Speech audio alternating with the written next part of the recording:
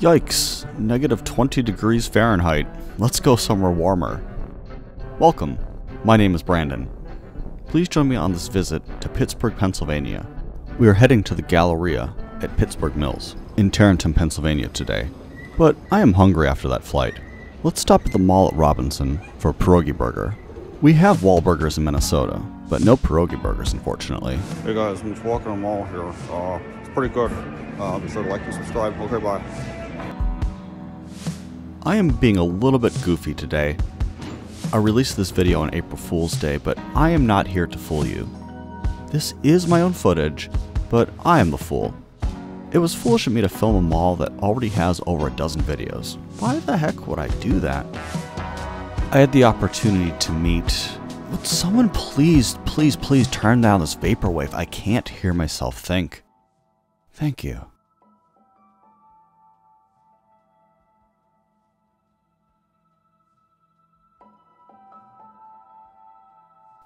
I had the opportunity to meet other Dead Mall video creators at the beginning of 2023. A few of my friends asked me to film their malls. I did not want to at first, but when I see the coast is clear, I gotta film. As this is a Midwest focused channel, I will share my thoughts on this mall from a Midwestern perspective. If you are worried that I am pivoting my channel to a different direction, don't don't fret. I will have one more East Coast Mall video and then return to the Midwest. Since there are so many videos about Pittsburgh Mills, I'm not going to dive into mall history. Instead, I will share personal commentary and compare it to Midwest malls. First off, this mall is very modern. It opened in 2005 way north of Pittsburgh. My friends told me that the place has never done well. People don't want to drive all the way to Tarentum for shopping, when there are plenty of other malls in and around Pittsburgh.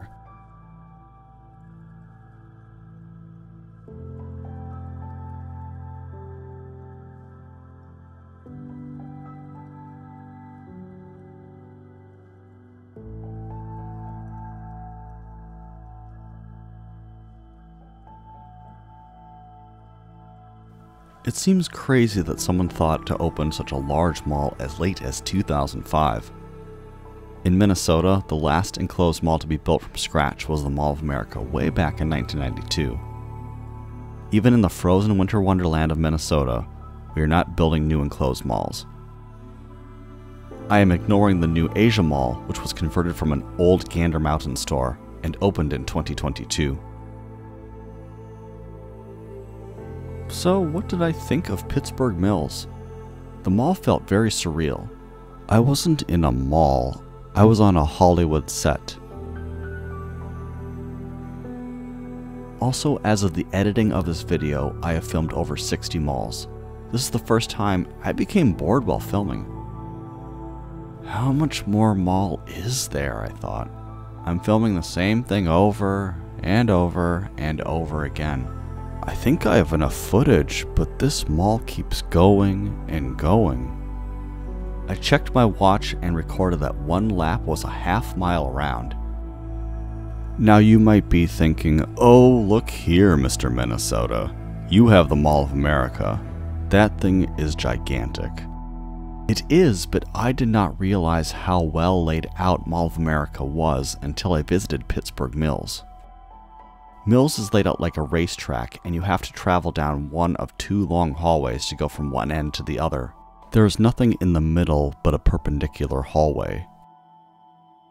Mall of America, on the other hand, is laid out like a square with several different ways to cross into the center of the mall.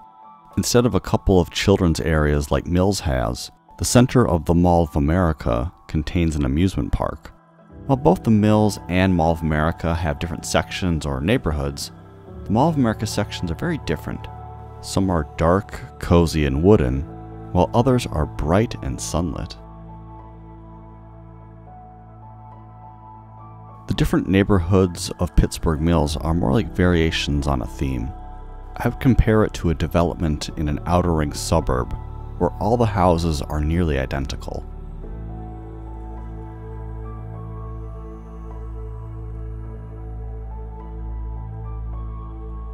Oh, you just went shopping at Macy's and now want to go to Dick's? Too bad. You walked all this way and now have to go outside and around the front entrance of the store. I may get some flack for being negative about this mall, but I have good things to say about Mills later in this video.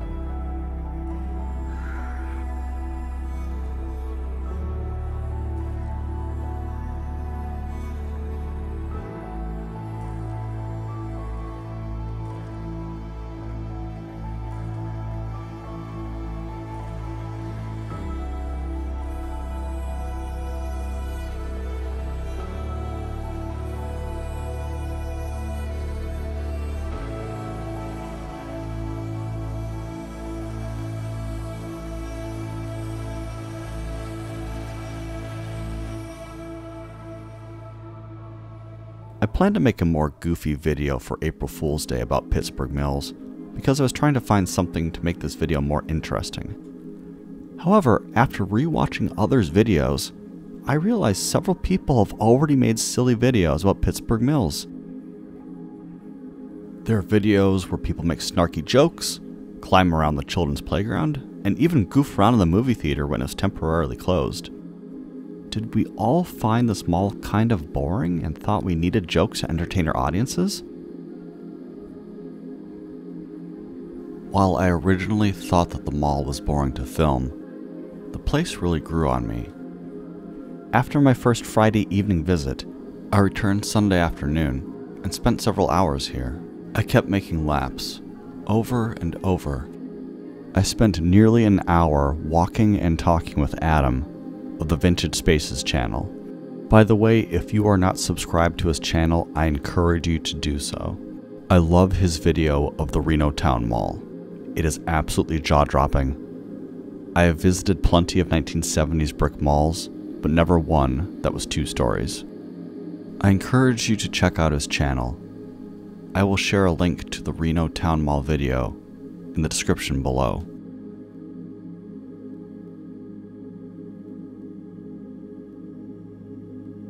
Adam and I were not the only people lapping the mall on a Sunday afternoon. There were dozens upon dozens of Pokemon Go fans walking around collecting Pokemon.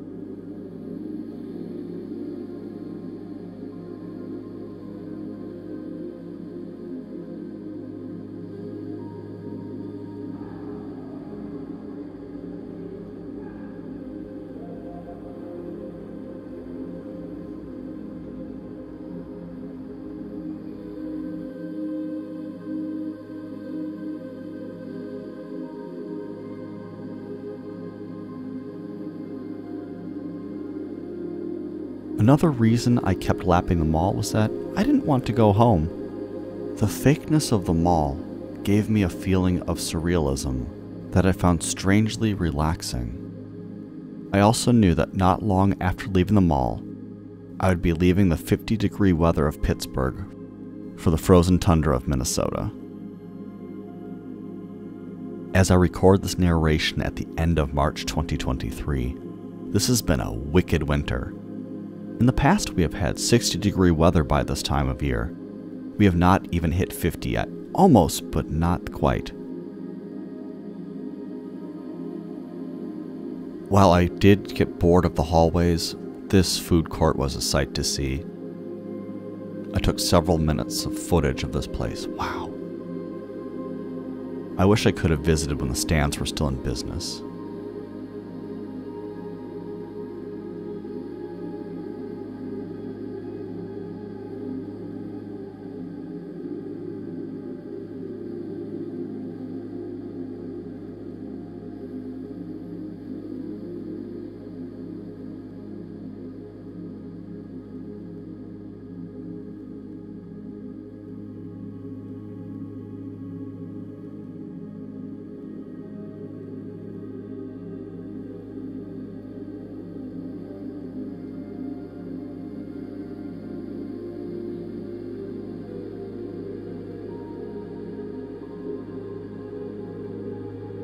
Shout out to my friends Kate, Elizabeth, and Lavender. It was great to meet all of you in person. An extra thank you to Kate for driving us all here the first night.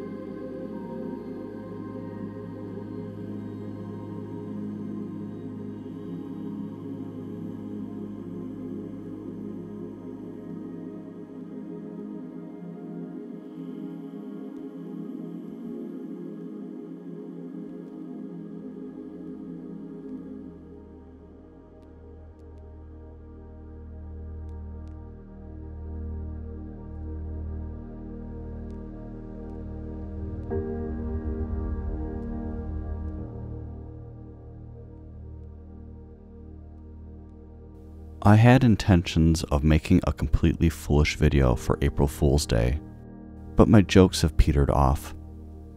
Just as my in person boredom turned to a meditative peace as I lapped the mall. I could have made the drive up to the wooden paneled Cranberry Mall, but I needed to make another lap. Yeah, yeah, another lap. It's only another 15 minutes. Oh, I have time for another lap.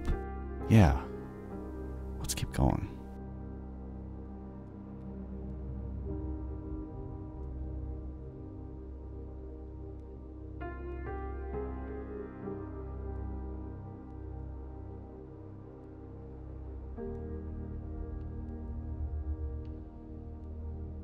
I probably come across as a goofball for my previous comments, but something occurred to me as I was recording this narration.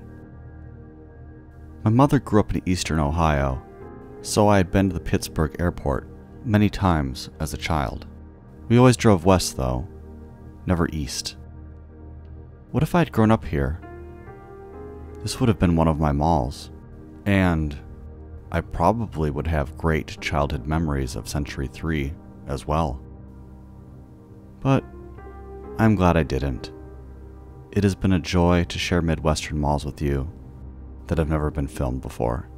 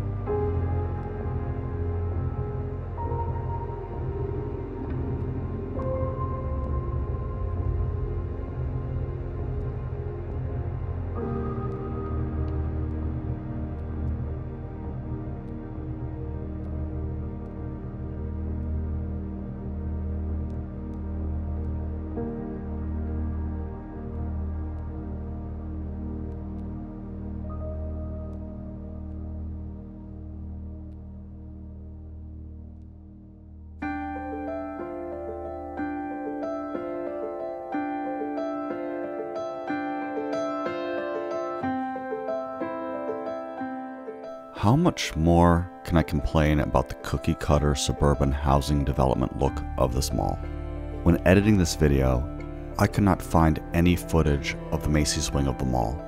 Funny, I lapped this mall so many times, but I forgot to film the wing. Oh well. I mentioned my mistake to Sal who runs the fantastic ExLog YouTube channel. He offered to let me use his footage, so now you get to see the Macy's wing of the mall after all. April Fools! Haha, this is my footage. I must admit again that I am the fool. I had an 18 minute cut of this video uploaded to YouTube without the Macy's footage.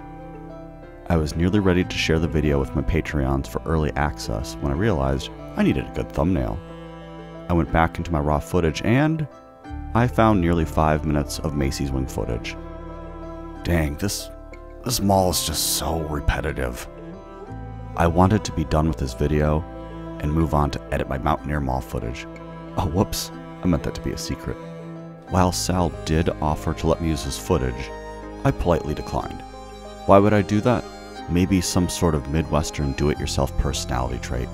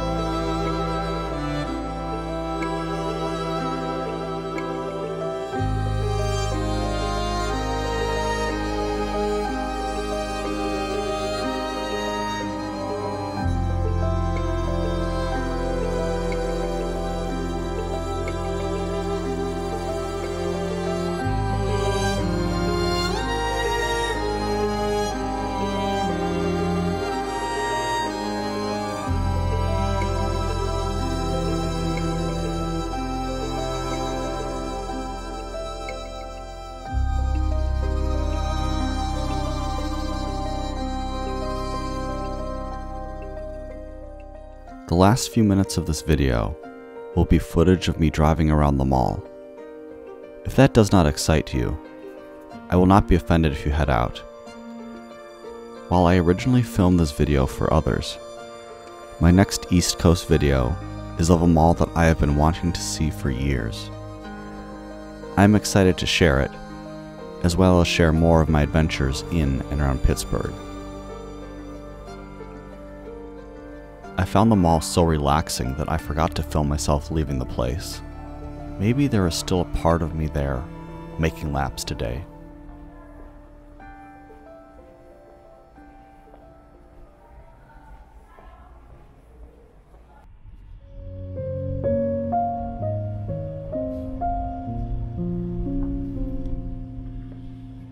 I hope you enjoyed visiting the Galleria at Pittsburgh Mills with me today. I hope you have a great day. Take care.